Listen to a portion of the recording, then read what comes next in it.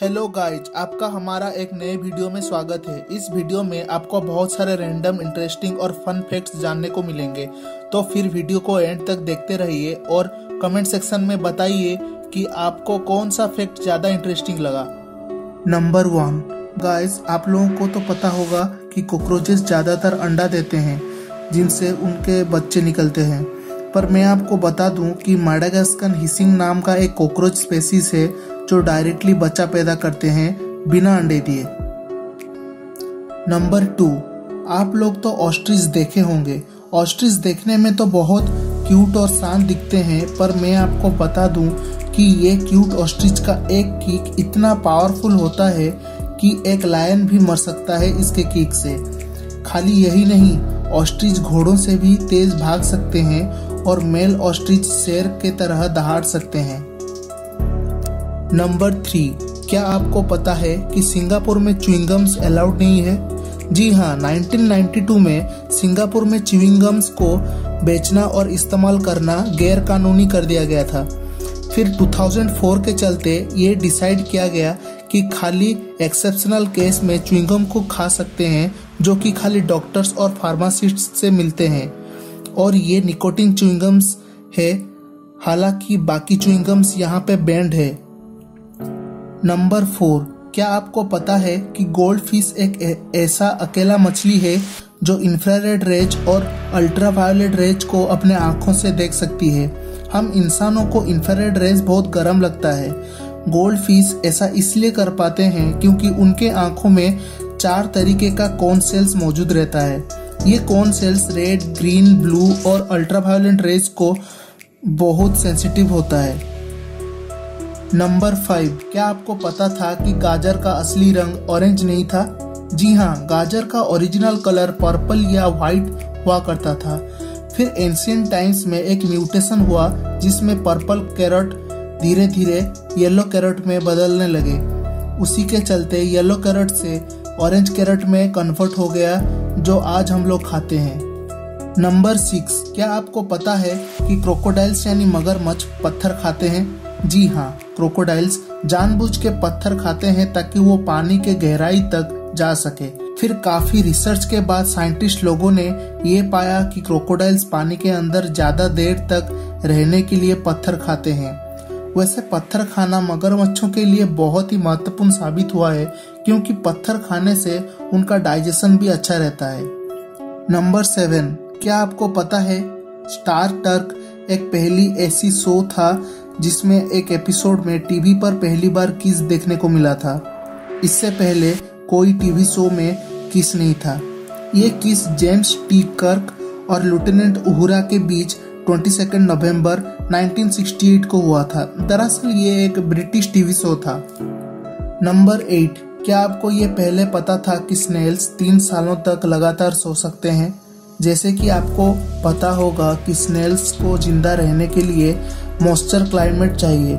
इसलिए ज़्यादातर स्नेल्स बारिश के मौसम में देखने को मिलते हैं। पर कभी कभी क्या होता है कि ज़्यादा गर्मी या सर्दी से बचने के लिए वो अपने सेल्स में तीन सालों तक सो जाते हैं। और मैं आपको बता दूँ कि स्नेल्स 99 मिलियन ईयर्स पुराने हैं। मेरा मतलब स्नेल्स इस धरती पर डायनासोर्स से पहले आए थे। नंबर नाइन क्या आपको पता है कि दूध का रंग व्हाइट क्यों है? जी, मैं आपको बताता हूँ। दूध का कलर व्हाइट इसलिए है क्योंकि उसमें कैसिन नामक एक प्रोटीन मौजूद है, जिसका कलर व्हाइट है। और यही नहीं, जैसे कि आपको पता होगा, दूध में प्रोटीन के साथ साथ फैट भी रहता है। और फैट का कलर भी व्हाइट रहता है। इसी कारण से दूध हमेशा से व्हाइट कलर रहता है। नंबर टेन क्या आपको पता है ज़्यादातर लिपस्टिक्स मछली के चमड़ी से बनती है, जिसको एक टाइप का पर लेसेंस भी बोला जाता है? पर यह पर एसेंस सिल्वरी टाइप का मटेरियल है जो मछलियों से आता है। ये एसेंस खाली लिपस्टिक में ही नहीं, और भी बहुत सारे कॉस्मेटिक जैसे नेल पॉलिश और सेरेमिक ग्लेजेस में भी देखने को मिलता है। नंबर 11 क्या आपको पता है ब्रूसली 1958 में हांगकांग के चाचा डेंस का चैंपियन रह चुके हैं और वो अमेरिका का सैन फ्रांसिस्को नामक शहर में पैदा हुए थे। बस यही नहीं, उनके दादाजी एक जर्मन थे। इस, इससे पता चलता है कि ब्रूसली पार्टली जर्मन भी थे। ब्रूसली ऐसा पहले इंसान थे जो कॉन्टैक्ट लेंसेज ट्राई किए थे। हालाँकि बाद में उन्हें कॉन्टैक्ट लेंसेज यूज़ करना बंद कर दिए, क्योंकि उनको ज़्यादा कंफर्टेबल फील नहीं होता था। और आपको ये जानकर हैरानी होगी कि ब्रूसली पाँच हज़ार पंचेस प्रैक्टिस किया करते थे हर दिन। नंबर ट्वेल्व क्या आपको पता है तो व्हाइट राइनोसोरस और एलिफेंट के बाद हिपोपोटामोस को तीसरा सबसे बड़ा लैंड मैमल माना जाता है। नंबर थर्टीन क्या आपको पता है कि एवोकाडो में ज़्यादा प्रोटीन रहता है, बाकी सब फ्रूट से? एवोकाडो कुछ कैंसर ट्रीट करने के लिए भी इस्तेमाल होता है। और ये भी माना जाता है कि कैंसर जैसे प्रोस्टेट और कोलोन कैंसर के रिस्क को भी कम करता है।